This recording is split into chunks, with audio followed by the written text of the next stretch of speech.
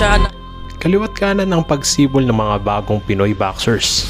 Sila ay inaasahan na magiging world champion balang araw at makikilala ng buong mundo. Kaya naman patuloy ang pag-aabang nating mga Pinoy fight fans. Kung sino nga ba ang susunod na Philippine boxing superstar? Isang boksingero ang sinasabi ng karamihan na siya daw ang susunod sa mga yapak ni Cuadro Alas, John Riel Casimero.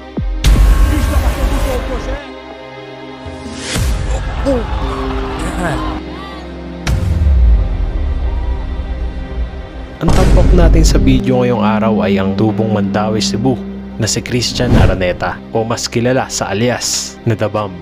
Isang 28 anyos na nooy WBC Light Flyweight Asian Silver Champion. Labis na pinahanga nito ang ating 3 Division Champion at kasalukuyan namang WBO Global Super Bantamweight Champion na walang iba kundi ang angas ng Pinas, Cuadro Alas, John Riel Casimero.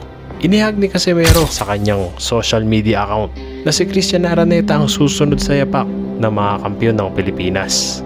Matapos masaksihan ni Casimero kung paano wasakin ang dayong veterano na galing Thailand. Yan ginanap sa Combate 14, Battle of Mactan, nitong nakaraan lamang sa Lapu-Lapu City.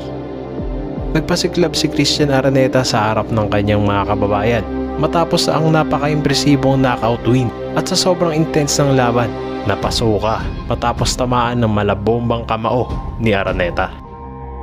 Maaaring isa lamang itong patunay na nagbunga rin ang naging training nila ng ating Pinoy boxing legend na si The Filipino Flash Nonito Donaire. Kayo ang may control dito. Hindi yung isip nyo ay may control sa'yo. Number one, rule number one. Kasi pag pagod na tayo, ang sasabihin ng sa, sa isip natin, oh, ayoko na bro. Oh, okay lang, maglaylo lang sa ako. Eh, dahan-dahan muna ako. No. Kayo ang may control sa isip nyo. Kayo ang may control sa katawan nyo. Tila naging isang malaking laban ang bakbakang Christian Araneta versus Jack Rawut Mang Joen. Ang dayong Thailander ay masasabi nating isang veterano dahil siya ay merong 47 fights na 42 wins, tatlo lamang ang talo, dalawang draw at 21 sa kanyang mga panalo ay via knockout.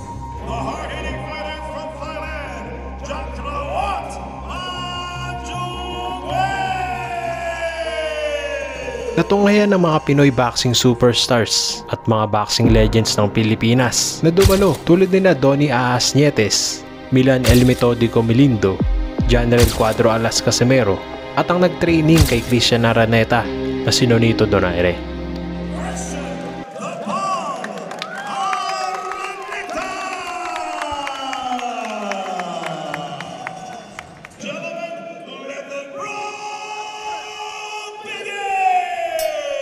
Yes, this is and it. the brawl will begin. Of course. Especially uh, coming from a fighting uh, fighting That was a slip. Napangiti dun si ano.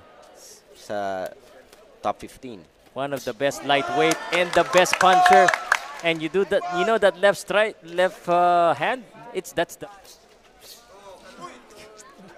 Ang sakit ng mga Almost. Suntok, di ba? Kon- Mm, Ang ganda ng ow! sidestep ni uh, Araneta doon. Jab and then the straight. There you go again. Pero solid. Mm, uppercut and the kasi now ng unloading. That's a good uh, series of punches ng Thai, pero nakabawi si Christian. Nagbibigayan na sila dito ng malalakas. Lakas ng tira ng Thai. Jack Rawit, Mahjong Goin. No matter how. Yeah, I think yung Thai is... Good left hand! Sa mukha naman. Ayan na, the crowd feeling it. Another one. It wasn't faced. Yes. Ah, ang gagawin lang dito ni ano, ni Araneta is hindi siya magpapadikit kasi malakas yung kalaban sa dikit. Yep. Nakita ko yun kanina, yung ah, Good short job. punches. Yan o na, mas Oo. may utilize niya yung lakas eh. Yes.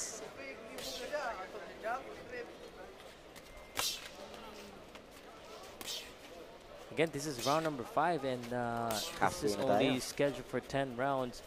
And uh, Milan, uh, so far as a as a whole, you Mapipilitang pumasok yung Thai. Kasi nakita niya, oy, He's getting outboxed dito sa round na to. yes. yeah, with punches of Christian Araneta, but let me also acknowledge uh, the footwork and the defense of Christian. The Thai fighter could not find Christian Araneta. Chakrawut Majungoen, the tough Thai fighter, trying to figure out Hindi for the straight. or overhand. Yeah, yes, it's overhand. Hindi ka pa na, hindi pa tayo nakakita. Mm. Uppercut, straight, that's what he he loves to throw with that Yeah. left hand. Eh. And, and if this is the case, Milan, should we say that, that that the Thai should go for broke or wag muna? no. Ano? Wag muna? He will go for for kill the, the opponent. Dapat go for kill na agad Yeah, as but- early as now. Not now. Not now. Not now. hindi pa. Oh, hindi pa daw. Good right hook. Oh, maki, makitaan niya ng yung butas.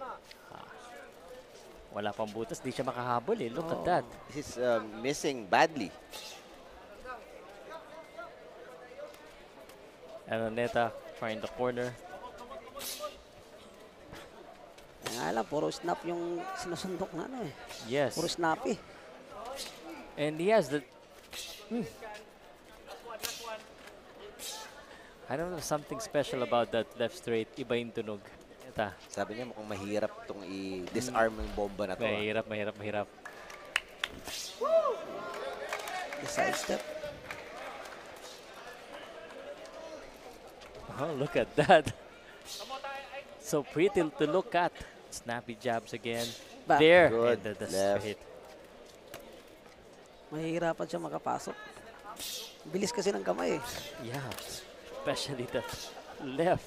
We are in awe. And to gamble because he received receives punches from Araneta in the process. Yeah, he received a lot of punishment. I mean, he's the one moving forward, but uh, still Christian is the one throwing a lot more punches. And landing. Picking up, he's trying to set up again a counter. Kailangan nang pumasok ng talander. Dandan against Christian Araneta. Mm.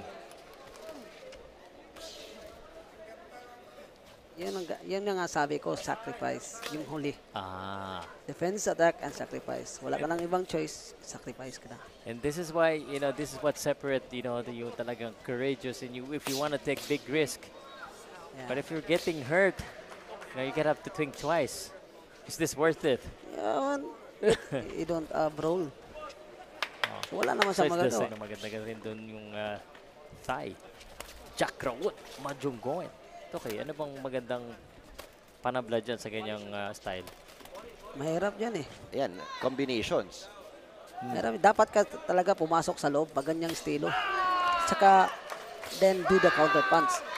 Pag nakapasok ka na. Pero kung hindi ka makapasok, hindi ka makagawa ng counter punch niyan. Ayan, medyo nagkakaroon na ng participation yung crowd. Oo, kasi natamaan yung chan eh. Parang masakit. Ang hirap pumasok pag yung chan mo. Binaba na. Kanina pa yan ah. Oh. Binabalik Eh, na. medyo nasasaktan siya. Nakikita mo sa facial reaction niya. Nice! yun. Left Th- that's hand. what you were saying. Oh, head hit to the knee. Finally! Oh. And I think he's throwing up. Ay! He's throwing up blood. Nagsuka na. Tapos sa laban. And it is over, ladies and Nagsuka. gentlemen. Nagsuka. I hope Oh he is okay. gosh. I gotta see that again. I mean, that's very unfortunate for the. Uh. Nagsuka sa chan, sa bibig. I think the uh, Hirap to. Nagsuka yung ano talaga. natin, yung uh, doctors and uh, health team, Natamaan ito. Chan. Oo, sa chan, tapos sa ulo. Here we go, Christian Araneta, of course. and um, good sportsmanship is uh, Boom, displayed right by Dr. hand. J, Teka helping out the Sa, Yo, yung bakit nagsuka yun, no? Ito na, dyan sa, da- sa ulo. Yan. Bang. And then the chan. Tingnan natin dali. Headshot, another headshot. Paki-check yung ano yung lumabas sa ano sa bunganga kung anong kinain. Boom, headshot again. Asan na yung stomach? Parang hindi yata yun yung instance na yun kasi may tumama. kamay. Christian Araneta. Iba talaga. The winner by knockout, ladies and gentlemen, Christian the Bomb